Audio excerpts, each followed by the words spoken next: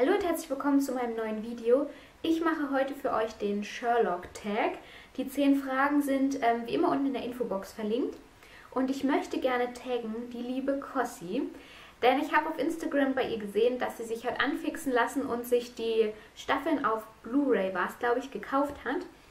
Und ja, ich hoffe, Cossi, du hast Zeit und Lust mitzumachen. Und wenn du soweit bist mit den Staffeln, dann ja, würde ich mich freuen, wenn du an einem Tag teilnimmst. Und wir starten jetzt mit der ersten Frage. Und zwar, wer hat dich auf die Serie gebracht? Mm, das war eine Freundin von mir.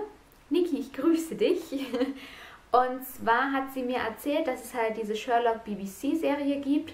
Ich weiß gar nicht, ob sie angefangen hatte, die auf Englisch zu gucken.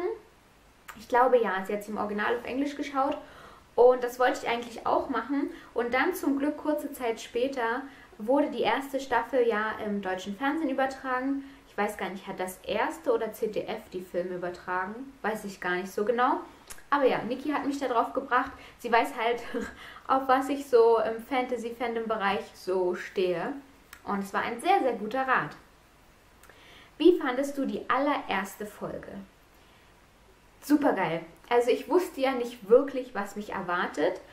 Und ähm, deswegen hat es mich umso mehr geflasht. Also diese, dieser Charakter des Sherlock und diese alten Geschichten in die Neuzeit versetzt und da natürlich auch an die Gegebenheiten angepasst und überhaupt, wie es geschnitten war, die Musik, ähm, ja, London einfach, es war so grandios, hat mir so, so gut gefallen. Drittens, liebster männlicher Charakter. Hm. Ich kann mich nicht entscheiden zwischen Sherlock und Watson. Weil jeder von beiden hat halt irgendwie was. Und das macht es schwierig, mich zu entscheiden. Ähm, es wäre so der Klassiker, sich für Sherlock zu entscheiden, deswegen entscheide ich mich für Watson. so, und liebster weiblicher Charakter ist Molly. Ähm, ich habe auch schon ein Cosplay zu Molly gemacht. Meine Freundin Nikki zum Beispiel hat Sherlock ähm, gecosplayt. Ähm, und Molly, die ist einfach so, sie ist wunder wunderschön, wenn sie was aus sich machen würde. Und sie, sie ist so grandios schüchtern und das liebe ich so an ihr. Also sie ist mir auch in vielen Dingen sehr, sehr ähnlich. Und ja, Molly habe ich einfach sehr, sehr in mein Herz geschlossen. Fünfte Frage. Der größte Badass. Da würde ich jetzt nicht Moriarty sagen, sondern ich sage Mycroft. Also der ist ja wohl mal das größte Arschloch, das es gibt. Wie der seinen eigenen Bruder behandelt, ist unglaublich. Und ich finde, Mycroft ist noch viel unsozialisierter als Sherlock es ist. Grandios, vor allen Dingen in der dritten Staffel kommt es nochmal so richtig heraus, hat mir richtig gut gefallen. Ähm, sechste Frage, meine Lieblingsfolge. Meine Lieblingsfolge ist auch die allererste Folge weil keine andere Folge konnte mich nochmal so flashen und so überraschen, logischerweise. Und deswegen mag ich die am allerliebsten.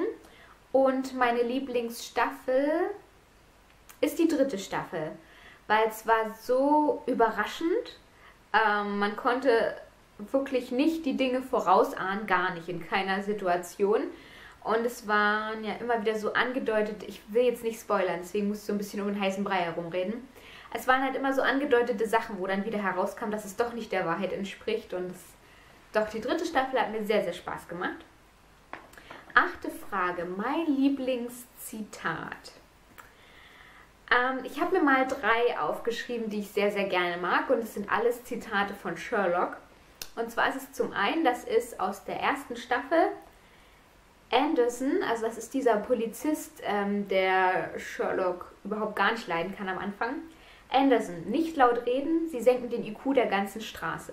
Also Sherlock hat halt sowas, der will nicht unbedingt gemein sein, der meint das halt einfach wirklich so. Ist richtig toll. Und dann gibt es auch noch einen, das ist auch so typisch Sherlock. Das glaube ich auch aus der ersten Staffel, ja. Fantastisch, ja. Vier Suizide in Folge und jetzt eine Nachricht. Es ist wie Weihnachten. Das ist wirklich so, andere Leute würden das einfach schrecklich empfinden, vier Suizide. Und er freut sich halt darüber, weil sein Gehirn halt was zu tun hat. Und da sind wir auch schon beim dritten Zitat, was ich sehr, sehr mag. Wie ist das mit so komischen kleinen Gehirnen? Das muss doch langweilig sein. Ähm, ich kann mir auch nicht vorstellen, wie es in seinem Kopf aussehen mag. Also mit diesem Gedankenpalast, das wurde schon sehr schön bildlich dargestellt, finde ich, aber einfach mit so einem großen Gehirn oder mit so einem mutierten Gehirn oder keine Ahnung, was er da im Kopf hat, ist einfach grandios und ist unvorstellbar für mich, wie sein Leben und sein Denken eigentlich sein muss. Und die neunte Frage, welchem Charakter ähnelst du am meisten? Habe ich ja vorhin schon so ein bisschen erzählt, ähm, finde ich Molly. Molly ist auch so eine kleine Schüchterne und ähm, ja, dieses, ach, sie ist halt in Sherlock verliebt und so offensichtlich, dass es schon wieder manchmal fast peinlich ist und so dieses Fremdschämen ist. Aber Molly ist einfach so eine Süße und so, ich mag das halt, wenn Frauen sich ihrer Schönheit nicht bewusst sind und das macht sie noch viel, viel schöner. Und die letzte Frage. Bei welchem Fall wärst du am liebsten dabei gewesen?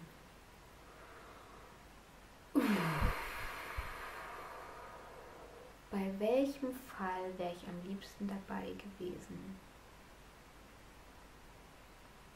Boah. Hm, das ist echt schwierig. Ich würde jetzt sagen, bei jedem. Ähm, bei welchem wäre ich denn gern dabei gewesen? Ich muss mir einen aussuchen, der nicht ganz so gefährlich war. ähm, äh, oh, ich weiß es wirklich nicht. Es gibt. Kann mich jetzt nicht speziell für einen entscheiden. Irgendwie. Vielleicht die Jagd auf Moriarty.